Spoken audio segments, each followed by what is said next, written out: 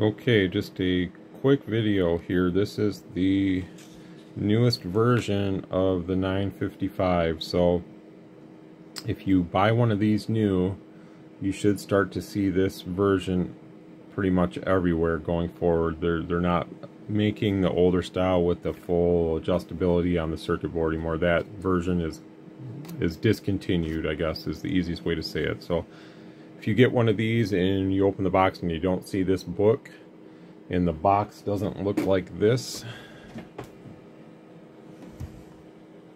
then you probably got the older style. So just keep that in mind.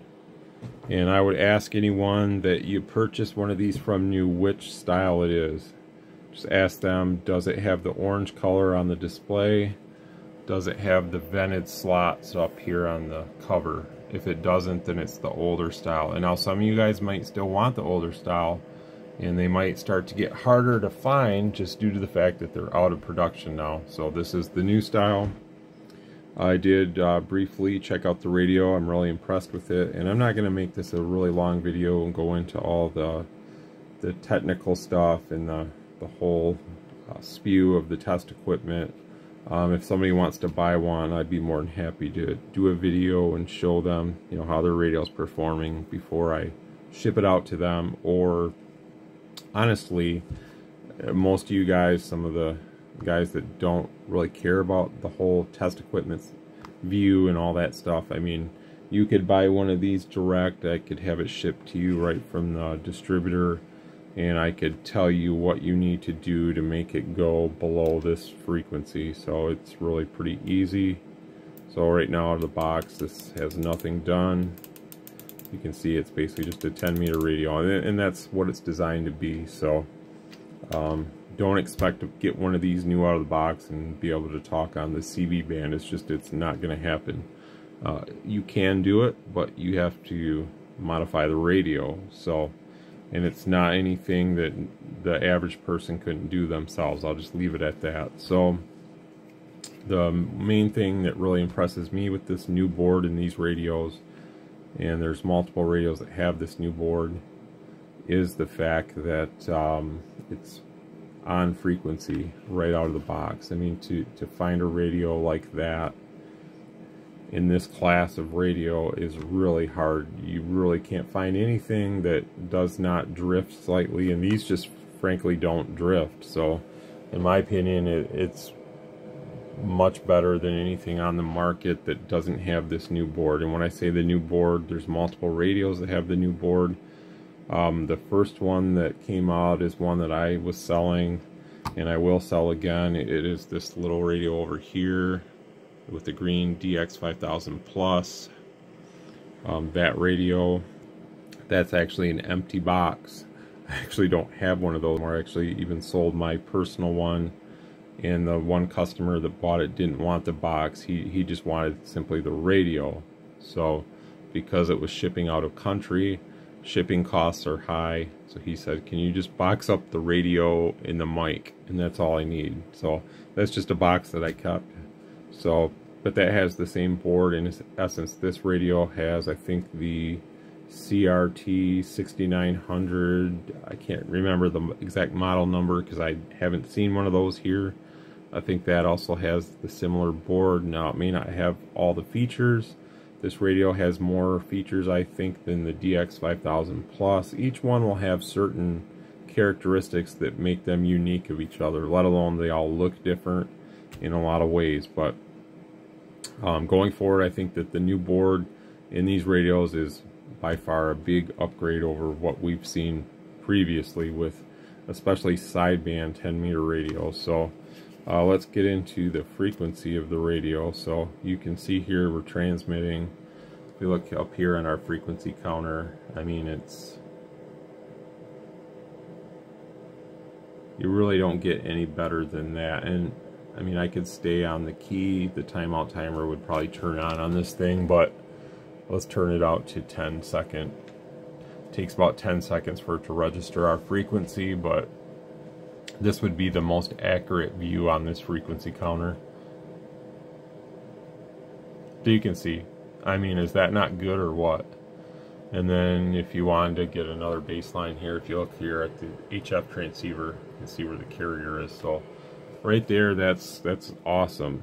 You really don't get any better than that. And maybe I worry too much about that being that I'm more on the technical side of things with the test equipment stuff like that but I just don't like to see a radio when I get one and it's way off frequency and I got to sit there and you know do the old school way and take one of these small tuning tips and you know try to align it it, it just really gets redundant to me it's nice that manu the manufacturer that designed this board finally realized that you can make it a better way and you don't have to do that kind of stuff. And there, there really is no way inside to do that anyways. The Any adjustment that would be made would be through a service menu through the front of the radio. So, so I think our HF rig's already on sideband. So let's just go to sideband, which I just put this radio on sideband. So we got our mic gain all the way up, RF power's all the way up.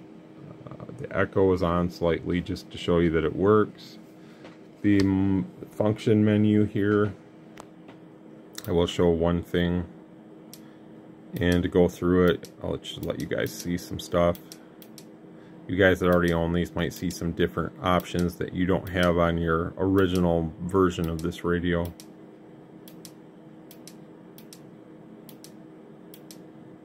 Mic type EL is electret dynamic is standard so we'll leave it in EL because that's what the KPO mic NM532 is so we have our noise reduction.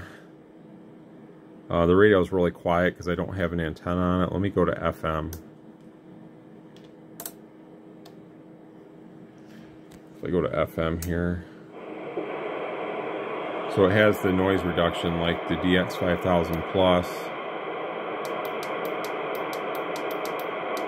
Same principle, you have to continually hit the function to cycle through.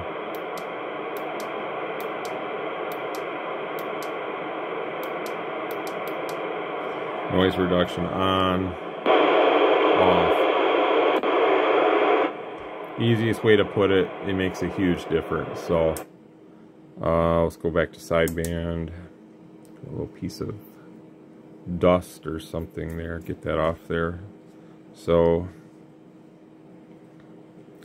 turn our mic up slightly, lower sideband. We'll listen on the HF rig here.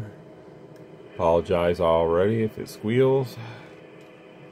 One, two, one, two, one, two, three, four, five, six, seven, eight, nine, ten. Check, check, check. So again, there is no RIT. You guys can see that is on the screen, but it's zero, zero, zero. So we're not listening to any uh, frequency offset on this radio. It's set right to 2800, 28 megahertz. So let's turn the echo off. Echo is now off.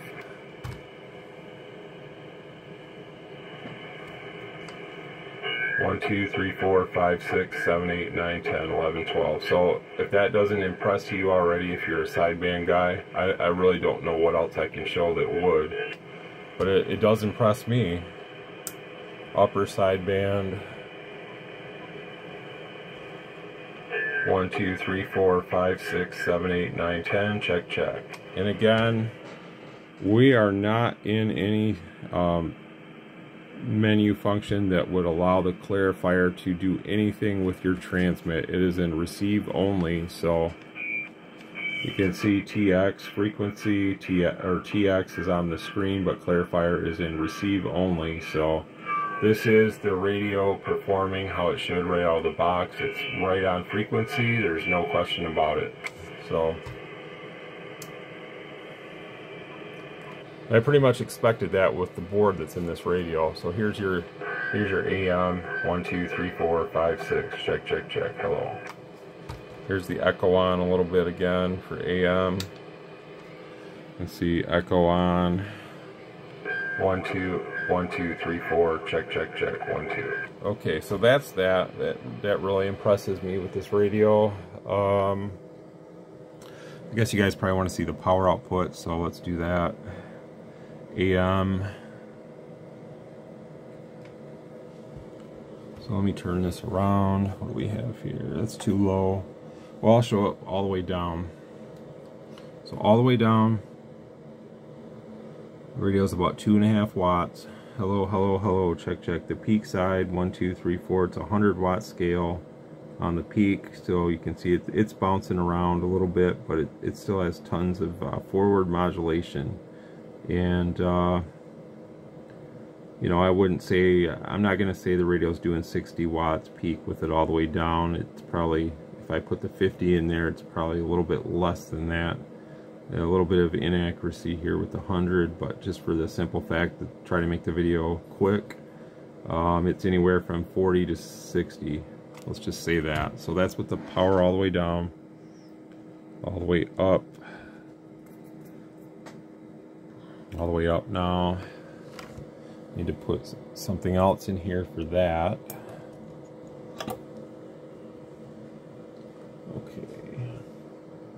25.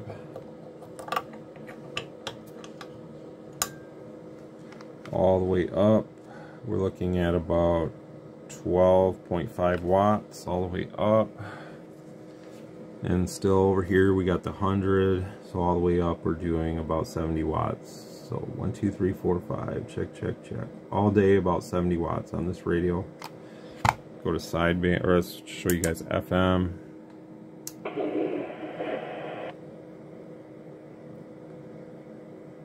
FM is about 50. Sideband. Your sideband all the way up, one, two, three, four. So it's the same, about 70 watts or so. And then if you turn it all the way down, it gets really low on this radio. So all the way down. Just one second. Okay, the power's all the way down on sideband. So it, I tested it a little bit earlier off camera it's less than 10 it's just a little more than 5 with it all the way down so you can really lower it so I mean it, it does peg the 5 but you know in between my words and stuff you can see it's not it's not cranking it way over in the corner so I can't find my 10 right now I think it's off to the left out of view so just for the sake of not keeping the video longer than it needs to be it's between 5 and 10 watts all the way down so it's fully adjustable there and yeah, I, I'm impressed with the radio.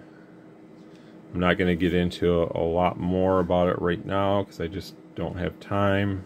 There's a lot to cover. And I'm sure there'll be other guys that make other more informative videos than what I'm doing for you guys right now. But I just want to give you guys a kind of a look of the radio. Here, it does come with the programming cable out of the box. There is a software you can download on the Stryker website and you can play with the programming software. And uh, it does give you some adjustable transmit and receiver bandwidth. I kind of showed that a little bit in the menu. And the noise reduction feature there's a noise gate. There's just a lot more features on this newer version of this radio. So if you have one of these the older one and you like it and you ever wanted to decide to try a new one, I think you would probably like the new one better just because it has more features. If you already like how the radio looks and you like how the original one works and you just were curious about this one, I think that you would be more than happy with this one also with the new features they're offering. It, really makes it a more all-around uh, great radio. So, and I am a Stryker, authorized Stryker dealer. Um, as far as, you know, dealing with Stryker, they're a great company to deal with. They have a great customer service warranty. These come with a three-year warranty. And uh, there's really nothing, uh, in my opinion, that you could do probably to avoid the warranty since there's not a lot of, um, there's nothing you can adjust on the board the only thing I think you could do is if you did get a hold of the information for the internal service menu and you started messing with stuff in there and you really messed up the radio, then they may uh, not be very happy with that. And I don't know what their terms are on a new radio like this. You'd have to contact them directly as far as the warranty part would go. But I would think for most average users, um, you're never going to mess with that kind of stuff. I don't see any reason to go in there and do anything personally. I do have the information. Uh, I'm not going to release it publicly. It's not something that I think they want released because I did see um, some prototype versions of this radio that they sent out. Some of you guys have probably already seen the YouTube videos of those, and no one really talked about that. No one really showed what you do to convert the radio, so I'm just going to kind of leave it at that. That you know, I don't think they want that information put out to the public. Now, if someone does it on their own, then that's up to them. But I'm just going to leave it as how I've seen the radio was slightly and slowly introduced to the radio community on YouTube as they didn't really show that or talk about it. The one YouTube video that I saw, he unboxed one new. He said it was a new one, and when he unboxed it, it was already on 27 megahertz. Well, that's not the case for anything new coming out of the distributors or anything like that. It, it does not get sold like that. So if you buy one of these new and you're expecting that, you're going to be disappointed because it, it doesn't do that out of the box. So there's there is the possibility to do it. It's not hard to do, and if someone was wanting to buy one of these or something, it's it's a possibility. We'll just leave it at that. It, it can be done, just like the original one. It's just in an entirely different way to do it on this radio than the old board, but it is definitely a possibility. So I'm just going to leave it at that. I, I, like the radio. I'm really happy with it, and um, I think that the new board is something that uh, it can only get better going forward. If this, if this is what we have now in 2022 with multiple radios, I'm sure there's going to be more uh, different radios that come out that have this uh, this master PCB board. And every model will have certain characteristics like I said to make them different.